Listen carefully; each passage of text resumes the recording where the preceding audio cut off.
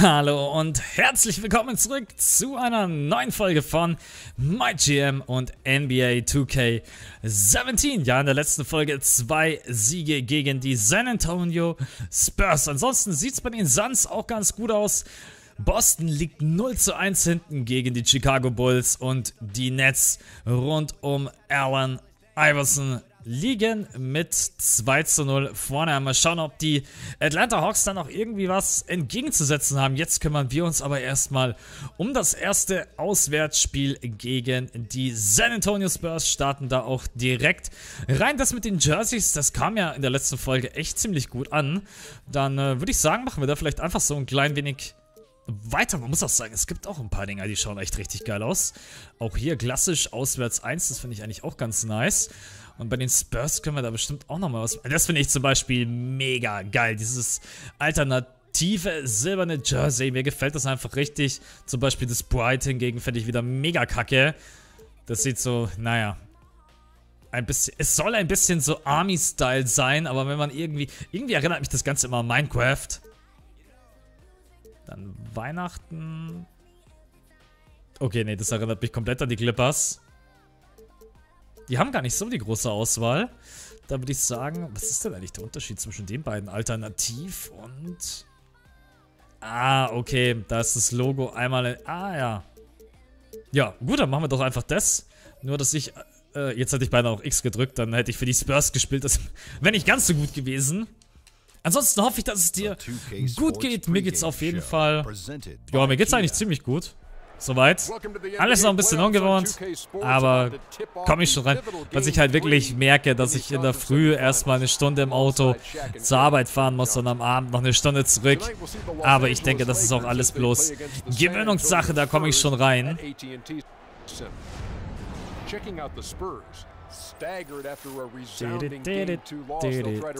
Ansonsten, ich habe schon einen Plan für die Playoffs, aber äh, für die nicht für die Playoffs, für die Offseason. Aber ich glaube, ich behalte ihn erstmal noch. Behalte ihn erstmal noch für mich. Es geht um zwei Positionen. Also einmal, ich will unbedingt... Ich will unbedingt Porzingis haben. Ich möchte Leonard holen. Ich bin dazu bereit, alle abzugeben. Bis auf Kobe. Und dann möchte ich einen der ersten drei Picks haben. Das ist der Grundgedanke. Den habe ich mir jetzt mal so spirituell und visuell gesetzt. Ob das klappt, das steht wieder unter einem ganz anderen Stern. Also sagen, falls auf der 1 als einer der ersten drei Picks auf der 2 Kobe, auf der 3 Leonard, auf der 4 Porzingis. Und auf der 5 mal schauen. Irgendeinen soliden Center, der mir die Bälle runterpflückt. Und vielleicht im Hookshot, im Post gar nicht so schlecht ist. Alter, wie kann er den... Okay, äh... Richardson, Break Hands und dann mit dem Mega-Stil. Und dann auch noch ein Pace dass ich keinen Zentimeter hinterherkomme. Ja, der Spin, der war wieder viel zu offensichtlich. Rein zu Hoffman.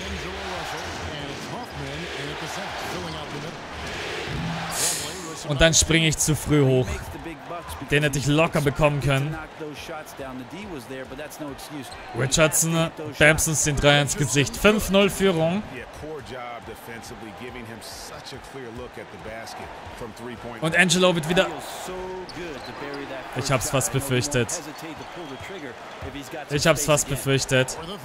Und dann kommt der Monsterblock von Wiggins. Und Kobe macht den ganz souverän rein. Gleich mal den Lauf der San Antonio Spurs gestoppt. Und Leonard ordentlich abgeräumt. Lumley versucht er tatsächlich ins 1 gegen 1 zu gehen. Den kriege ich nicht. Und Wiggins schafft es nicht, den reinzulegen. Angelo. Ja, okay. Ja, es war klar.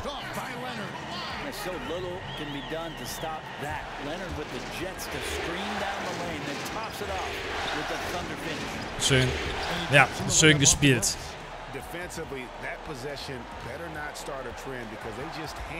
Ansonsten schreibt mir ja gerne mal in die Kommentare, was deine Wünsche für die Offseason wären.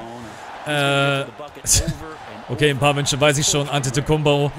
Wahnsinn, wie oft dieser Name fällt. Der scheint da draußen äh, ganz schön viele Fans zu haben unter meinen Leuten. Ne? Oh. Das darf nicht passieren. Wenn Angelo den unten nicht berührt hat, ich glaube Hoffmann war nicht dran. Ja gut, müssen wir jetzt nicht reingucken. Ne?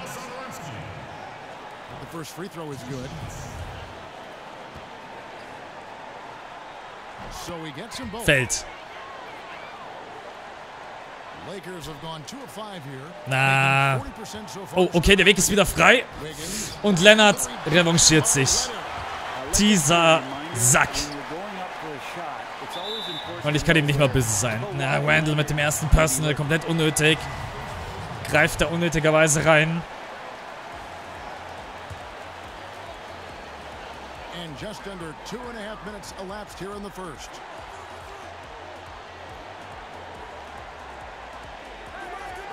Ja, überhaupt kein Play, kein Spielzug. Jetzt geht's rein. Und da kommt die Defense. Aber mal sowas von abgeräumt. Und jetzt, ja, mit Range Jumper ist nicht die Stärke von. Das ist einfach nur sehr, sehr schön gespielt. Und Kobe aus dem Eck. Auch stark. Wichtig, um dran zu bleiben. Das ist falsch verteidigt. Julius Randle. Das ist komplett falsch verteidigt. Man steht immer zwischen Mann und Korb und niemals dahinter. Das lernt man. Scheiße. Das lernt man sogar in der Grundschule. Ja! Schön. Kobe mit dem Block. Es ist ja voll die Blockparty hier auf beiden Seiten. Was ist da los, ey? Hayward.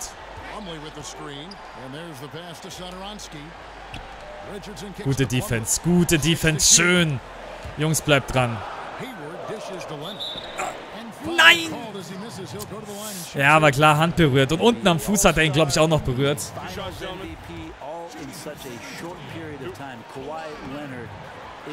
Nee, zu der Zeit, wo ich wirklich meine Grundschulschüler noch trainiert habe, auch wenn das äh, sehr schwierig ist, die erstmal zu dem Level hinzubekommen, mit denen ein Spiel zu machen. Das glaubst du gar nicht. Bis sie die Regeln kennen und bis die wissen, dass sie ihre Position halten müssen und etc.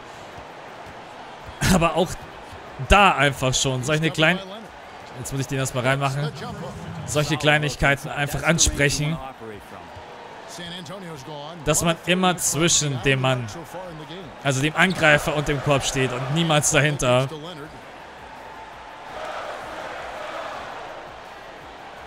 Siakam drinnen.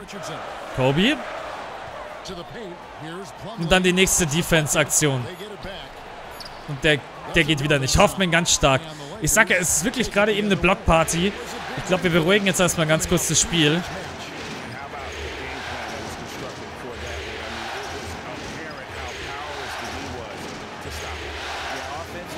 Ja, okay, das war jetzt wieder unnötig. Diesen Pass hätte ich gar nicht mehr spielen brauchen.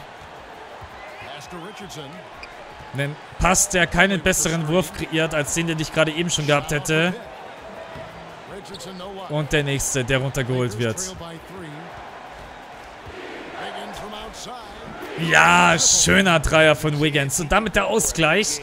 Und mit diesem Ausgleich starten wir rein in die erste Simulationsphase in der wir die Spurs mal ganz locker, trocken, geschmeidig, aber sowas von gegen die Wand spielen, dass wir gar nicht mehr eingreifen müssen. Wiggins mit 22 hoffen. Mit solchen Aktionen macht es mir nicht leicht, ihn herzugeben. Das ist einfach Wahnsinn. Was der Typ runterpflückt in jedem Spiel, das ist nicht menschlich. 16 von Kobe, 15 von Smart Angelo. Ah ja, auch wieder mit den Assists richtig schön dabei. Covington von der Bank Das ist so ein Spieler, der ist einfach geil. Den wirfst du rein 14 Minuten, der hat einen Minimum, Minimalvertrag und ballert dir halt trotzdem da die 12 Punkte rein. Also das ist einfach richtig nice. Und auf der anderen Seite, es ist Hayward und Leonard und die anderen scoren nicht. Und deswegen kannst du einfach nicht gewinnen. Das kannst du, wenn im Blumley halt 9 Rebounds runterholt, aber nur zwei Punkte macht, dann kannst du solche dann kannst du so eine Serie auch nicht gewinnen.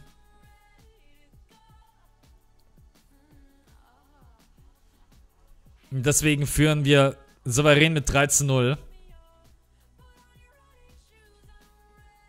Ja, wir sollen sie sweepen. Ich trage diesen Besen schon den ganzen Tag mit mir rum, aber nicht, weil ich damit sauber machen will. Ich werde unseren Gegner wegfegen. Das garantiere ich Ihnen. Sweep, sweep, sweep, Baby. Hauptsache er ist bei 100% und mega gut gelaunt. Und die Bulls erhöhen auf 2 zu 0. Was ist da denn los? Okay. Das wäre, also... Das wäre schon eine Überraschung, wenn die Bulls die Celtics raushauen. Mit der Konstellation. Und die Bulls, habt ihr es gerade eben noch gesehen, die Bulls führen mit 13-0. Was macht Boston bitte? Was treiben die? Ey, jetzt schauen wir uns nochmal das Team an. Von den Bulls. Ey. Nichts ungut, aber nicht mal ein der, ja, Legenden-Superstars. Okay, Timmy, Duncan, aber auch irgendwie, glaube ich, verletzt, weil er nur 76 hat. Und Boston, schaut euch dieses Team an. Dann Hammonds, Durant, Loya, Embiid. Von der 6 kommt ein Crowder, dann kommt noch ein Isaiah Thomas von draußen. Ein Pöltl, der hat mittlerweile auch 80. Deadman mit 77. Was ist los mit denen? Schaut euch dieses Team an. Bis hinten Stanley 77. Und dann haben sie einen Curry mit 70, der wahrscheinlich der, der einzige ist, der hier irgendwie unter der 75 rund gräbst. Also, Wahnsinn. Das wäre auf jeden Fall die Überraschung in den Playoffs.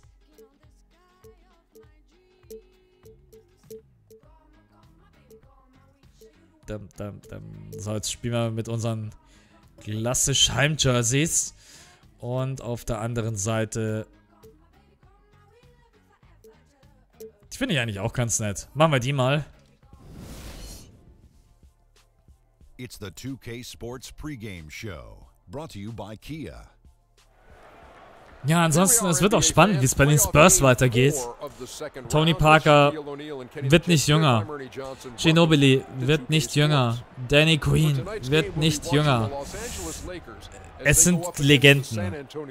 Aber auch von der Spielweise her, was die einfach für eine Intelligenz haben, im Gegensatz zu den jüngeren Spielern. Man sieht das, glaube ich, bei jedem Spiel, was man sich wirklich komplett anschaut. Trotz allem wäre es einfach geiler, wenn du einen Danny Queen und einen Ginobili von draußen bringen könntest als Backup und jetzt nicht in den Playoffs teilweise Minuten geben musst ohne Ende. Ich bin mal gespannt, ob an der Story mit Lowry was dran ist. Ob das irgendwie zustande kommt. Das wäre definitiv nicht schlecht. Muss man schon auch ganz klar sagen. Erfahrung haben sie genügend. Dass Popovic immer auf Erfahrung setzen wird. Ich glaube, da brauchen wir uns nichts vormachen.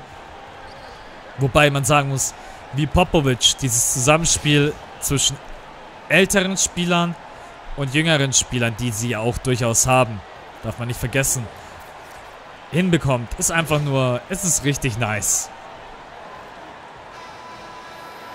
Richtig nice sind auch diese Jerseys. Wir sind im vierten Spiel. Wenn man alles nach Plan läuft, dann wird das ein Sweep. Und Kobe startet gleich mal mit einem monströsen Dank. Ein Up-and-Under-Dank, sage ich dazu gerne.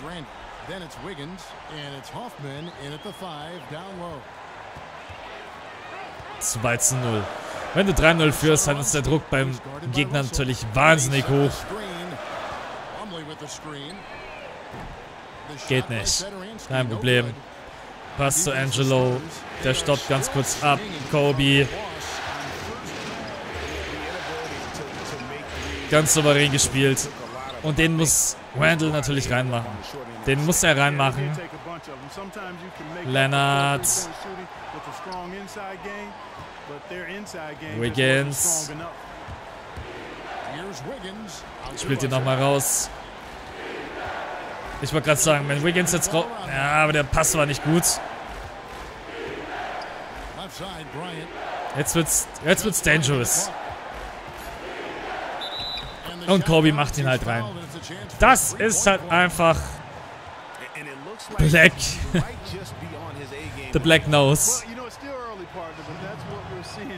Aber der war nicht, aber er steht halt beim Freiwurf einfach bei geschmeidigen 99%. Antonio's gone 0 of Da ist es 2. schwierig daneben zu werfen. Ja, Wiggins. Unnötig. Yeah, quick foul to pick up right away here in the first quarter. Mach ich jetzt einfach, einfach mal. Weil ich Covington das auch einfach zutraue.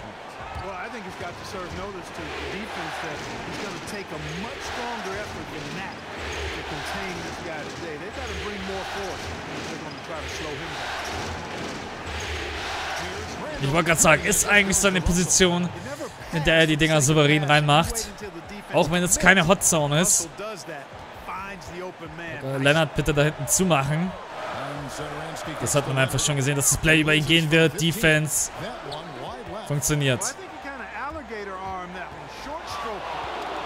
After doing a nice job to get open, he didn't finish the shot. Ja, der Weg wird da nicht frei.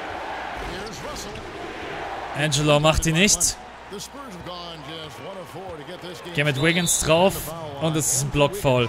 Ja gut, jetzt muss, muss Wiggins sowieso raus. Ob er will oder nicht. Oh, das war... Oh mein... Alter! Damit habe ich jetzt nicht gerechnet.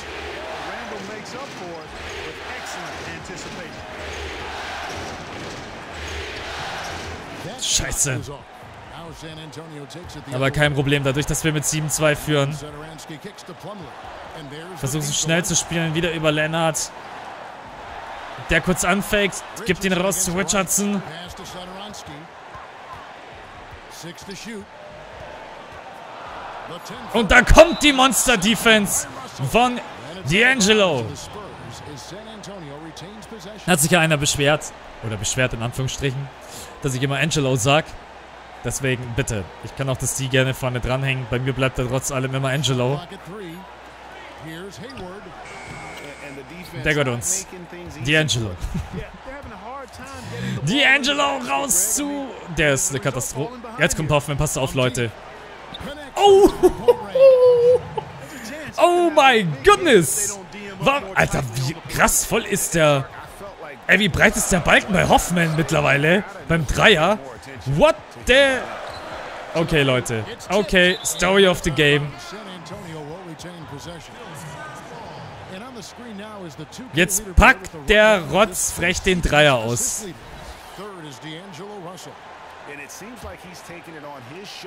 Ein frecher und der fällt. Ah, Had was ein Wurf.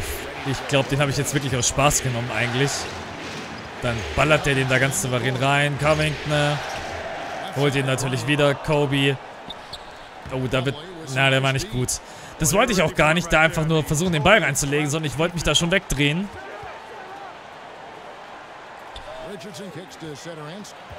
Zadowanski. Der Name ist ungefähr so wie Antetokounmpo. Zadowanski und Antetokounmpo. Was zu ko- Ich- ich hab's gewusst. Ich hab's gewusst, dass Julius Randle den im Aufbau wieder versemmeln wird. Well, I spoke briefly with Nate McMillan. I asked him if his guys still believe they could come back in this series. He told me, absolutely. We know the whole Ja, schön weggedreht.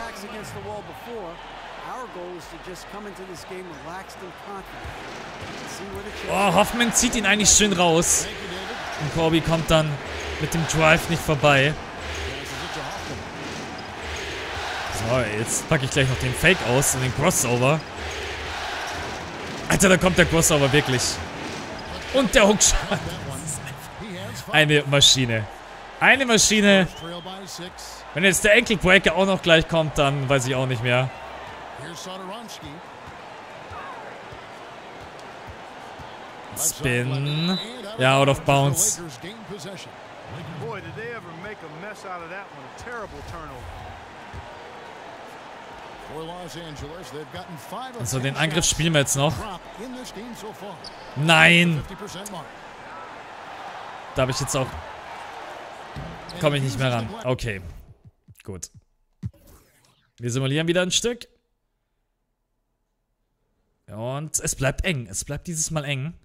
Nein, jetzt ist wieder... Jetzt ist eigentlich schon wieder gegessen. Ja, ist gegessen. Gut. Aber man hat es auch schon die ersten drei Partien gesehen, dass die San Antonio Spurs, wir schauen rüber, es ist immer das gleiche Bild. Leonard und Hayward treffen und der Rest einfach nicht. Du kannst so ein Spiel dann nicht gewinnen. Mit 76 Punkten kannst du ein Spiel nicht gewinnen. Das ist einfach so. Wir können nochmal rüberschauen zu uns. eins von eins. Es, es ist so geil.